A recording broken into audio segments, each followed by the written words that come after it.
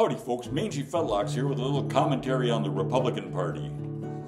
Donald Trump said that Republicans eat their young, though his teleprompter said they eat their own. Either cause Trump cannot read or cause he's dumb, or from latent syphilis his mind is blown. Nonetheless, the statement in essence is true.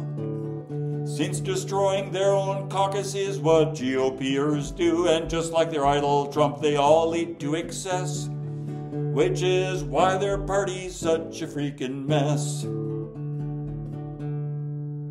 Thanks for listening.